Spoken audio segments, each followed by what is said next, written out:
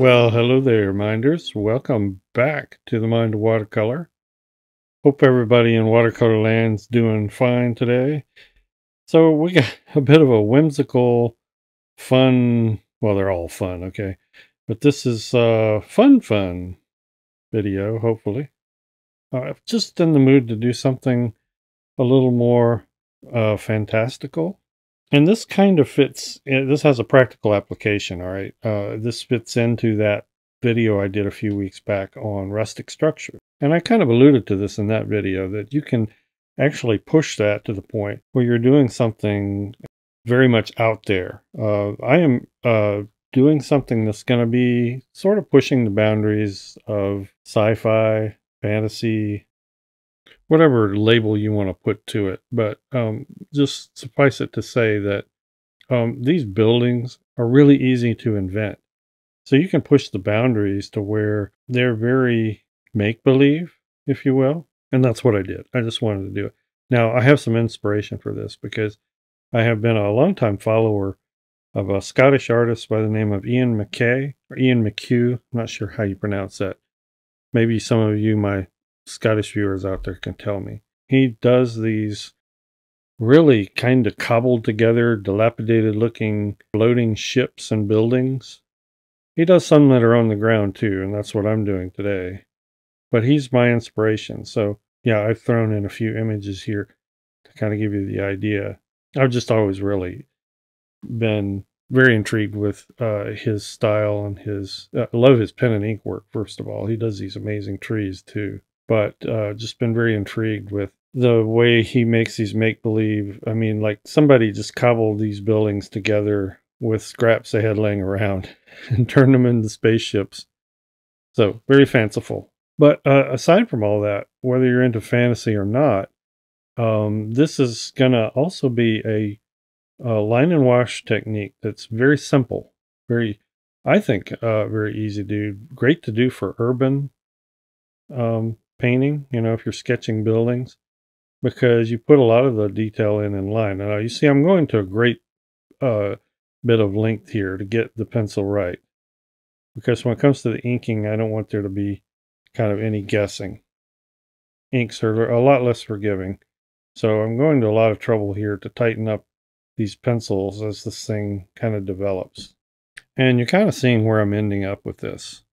I've tightened up the details, I think, to the point that I'm happy with them.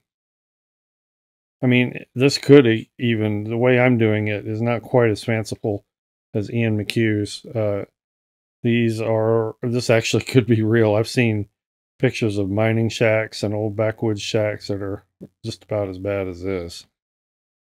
So I put it in a setting where uh, we have like mostly rocky terrain, maybe like southwestern terrain. This is my Indigraph India ink fountain pen. Perfect for this job. Love this pen. And I'm just going through my sketch now and inking in the details. This probably was the most fun part. And if you've done your due diligence in the pencil sketch, uh, this part right here uh, is just fun and easy. Now, let me give you a few tips on inking. Uh, go light to begin with and draw less detail than you think you, you need. It'll be very tempting to just sit and ink in details everywhere. You can always go back and add that. So I, I like to go through and just sort of more gingerly ink everything. Then I'll go back and add deeper, darker areas where I want to. Um, because it's a little more obvious then uh, where it needs it. And I do plan for the line to carry most of the detail and even a good portion of the shading here. But when I get to the watercolor, it's going to be very minimal. Just very minimal. You'll see what I mean. Yeah, so these these are fun. Just let your imagination go wild, you know. It's like, oh, uh, here's a sheet of 10 I found laying around, and I'm just going to bend that over the top of this whatever structure, and voila, we have a building. I don't know. I just, I just kind of let my doodles materialize when it came to this. I didn't spend a lot of time thinking about this. The only thing I had in mind going into this was I thought it'd be cool to have this all sort of built back into a hill on some rocky terrain. That was kind of the only preconceived idea I had. And I knew the style, you know, I was kind of emulating an Ian McHugh sort of style or look, even though I ink differently than he does. I think uh, Ian is um, mostly considered an environmental artist. Now, as I mentioned, he's done some wonderful trees. Uh, he even does these sort of whimsical, cartoony looking characters from time to time.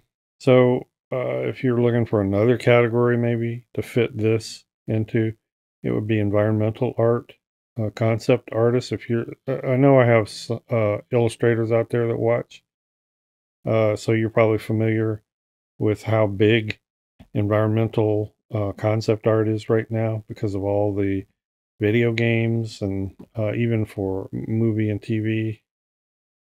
They'll hire concept artists to visualize environments and color schemes and that sort of thing. So it fits into that category too. But for me, it's just fun. Good, clean fun.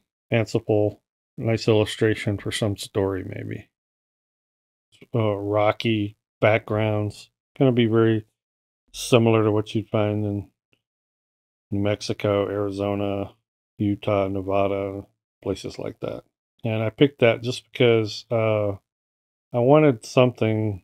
I don't want to say apocalyptic. I mean this this is like more of some desert hermit or something. You know, maybe a some disillusioned miner that just kind of never got past the fact that he couldn't find anything in prospecting through the hills. I don't know. You know, you make up your own story, but you know, sort of a bare, almost moon-like, Mars-like landscape. That just seemed to go with this kind of building structure to me.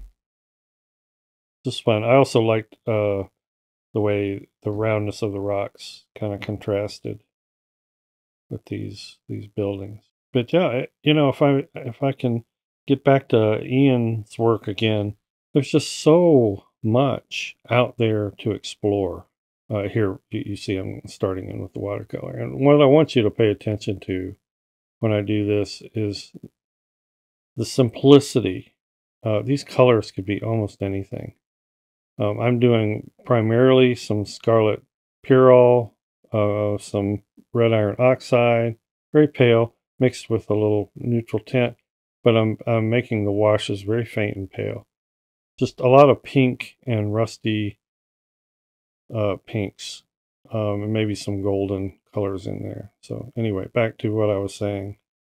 What I want you to pay more attention to than the color, though, is uh, once you've got the line detail in here, the simplicity with which the color and the washes can be put in.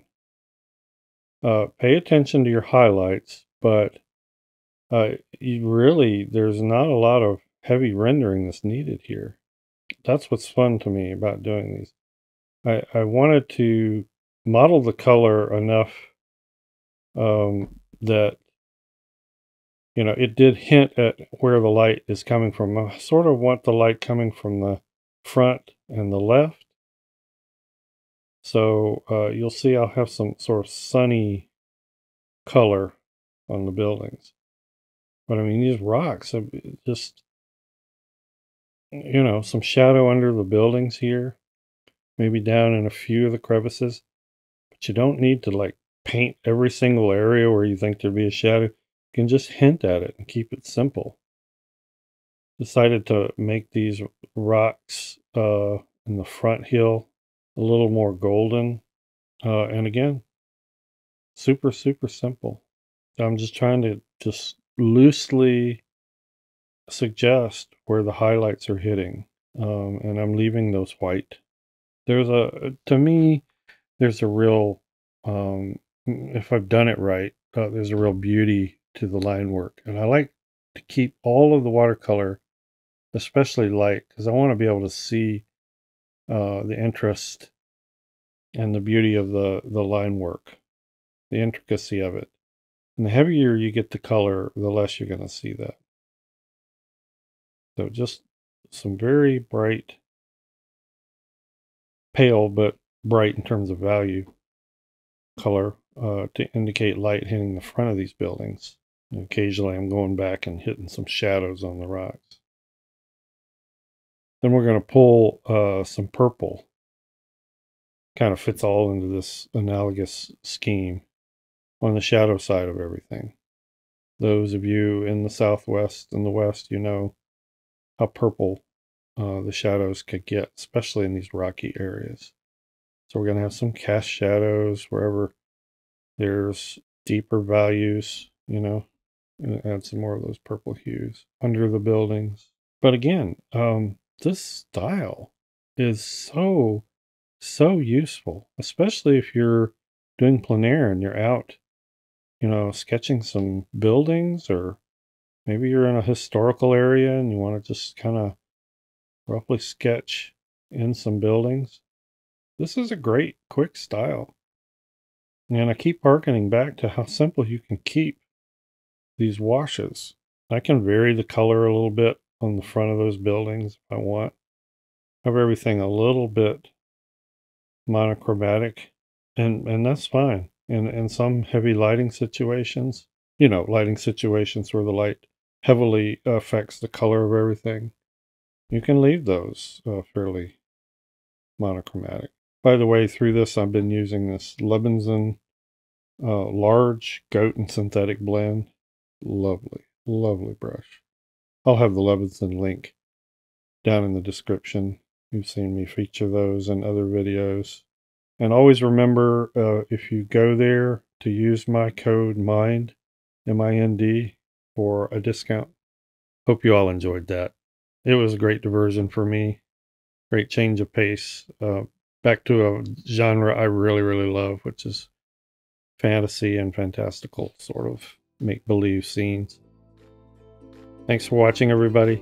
Thank you so much, patrons, for your support. We'll see everybody in the next video. Bye bye.